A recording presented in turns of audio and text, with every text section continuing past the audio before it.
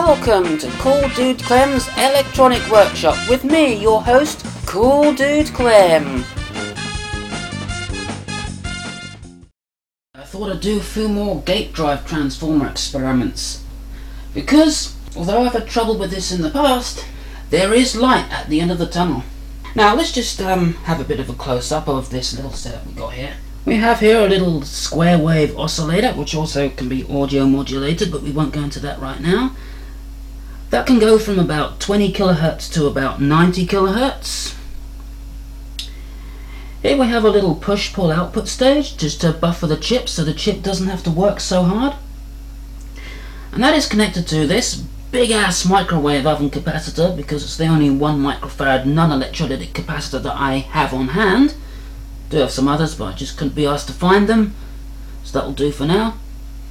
And one of my failure gate drive transformers. And the output of that is connected to the scope.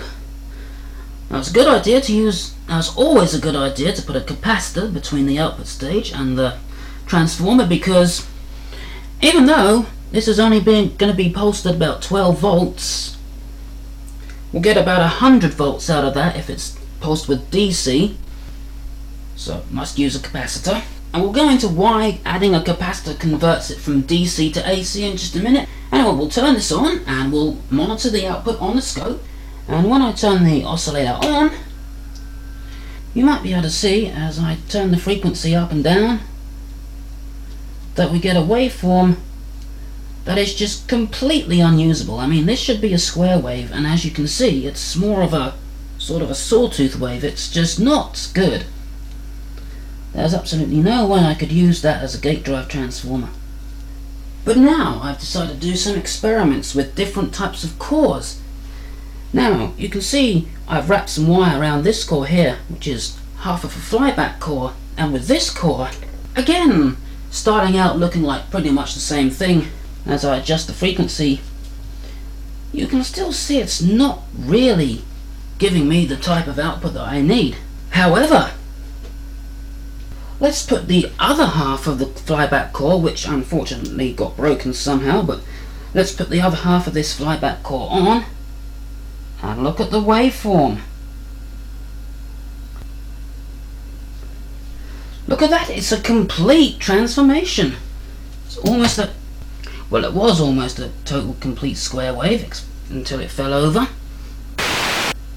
You can see that it's a lot more square wave now. And that's more like what it should be. And unlike with the previous core, nothing is getting hot. Everything is running nice and cool. Well, I've glued this core back together, and while we wait for it to dry, I think I'm going to explain a bit about gate drive transformers. So I'll just um, quickly explain how this works, although this will probably take up most of the video. And of course, if you want to skip this bit, then be my guest. But anyway, what we've got here is a chip with a single output. Um, doesn't have to be anything specific. Got it connected up to the um, gate drive transformer primary through a capacitor. And I've only drawn in the bits that I'm going to talk about, so in the chip here you can see the pulse generator and the two output transistors.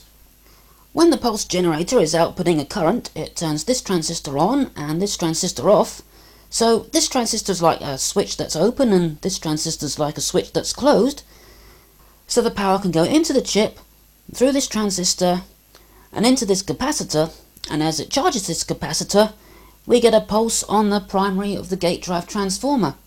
Now, when the pulse generator is not outputting anything, we see exactly the opposite happening this transistor turns on and this transistor turns off so this one is like the switch that's closed and this one is like the sorry this one is now like the switch that's open and this one is like the switch that's closed and the capacitor can discharge itself through this transistor and as it does so we get another pulse in the coil only this time it's in the opposite direction so effectively we get an AC waveform at the primary of the gate drive transformer. Okay, this is your typical half-bridge circuit, and again, I've only drawn in the parts that I'm going to say about. So we have the oscillator chip here, which is usually something like an SG3525. It's got two outputs, 180 degrees out of phase with each other. Got a capacitor here to couple the gate drive transformer and the chip together. And when we get a pulse out of this output, we at that pulses the gate drive transformer in one direction, and when we get a pulse out of this output, it obviously pulses the gate drive transformer in the other direction. And on the end of that, we've got the MOSFETs and the whatever it's powering, usually a flyback primary or a Tesla coil or something like that, and a couple of capacitors, and this part of the circuit is the actual half bridge. So when the gate drive transformers pulsed one way, the this side of the um, this side of the secondaries becomes positive, so we get a positive charge on this uh, MOSFET and a negative charge on this MOSFET, so this MOSFET turns on, and the power goes through it this way and into the coil, and into this capacitor, like that. And when the gate drive transformer gets pulsed the other way, the negative is on this side of the secondaries and the positive is on this side, so this gate gets charged positively and this gate gets charged negatively. So this one is on and this one is now off and the current goes in through this capacitor, then through the coil that way, then through the MOSFET and into ground. So we end up with an AC waveform at that coil there and that's basically a half-bridge circuit. So that's how they work. Although I have had a lot of trouble actually getting one of these to work, but um, well, let's see if I can make this work. Okay, the transformer is ready now. As you can see, I've wound the wire onto it. I'm so confident that this is not going to make the chip overheat. I've connected it directly to the chip's outputs without any kind of transistor buffer stage. Let's see what kind of a waveform we get. If it's a spiky waveform, I'll turn the power off immediately because I know it's sucking a lot of power.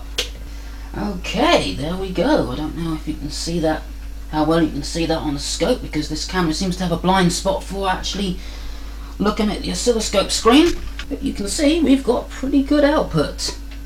Although you can barely see it on the camera. Of course it's not perfectly square, but there is absolutely no such thing as a perfect transformer. But I think this is going to work pretty good. I'm just going to test to see if the chip is warm at all. Mm, it's quite warm, but um, I would continue to let that run because it's nowhere near it's nowhere near at a temperature where I'm thinking, oh my god, I've got to turn it off immediately because it's going to start smoke or anything like that. No, I think that's perfectly safe at the temperature it is right now. Okay, I've built the half bridge and you might want to sit down or have someone standing by with a defibrillator or something because this works. I kid you not. So first I'll turn on the oscillator. Now make sure I'm out of the way of the camera. Now we'll turn this on. There we go. There's the output from the half bridge. Now, I have to make sure that I'm arcing this when it's on because if I don't, this flyback will spew out corona from just about every possible place and uh, with this particular driver. I don't really want to damage the flyback. I'll just do this very, very briefly far as audio modulation is concerned, I'm having to use the camera's microphone here because I'm using the tape to play back the audio. But as far as audio modulation is concerned, that's about as loud as I can get it before it's over modulating. And my wire's smoking as well.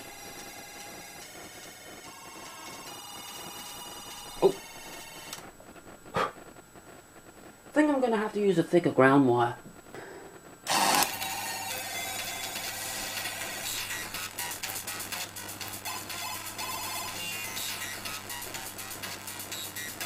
Well, I'm actually quite happy with it.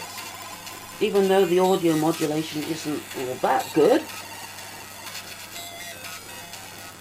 I'm quite happy that this is a successful experiment.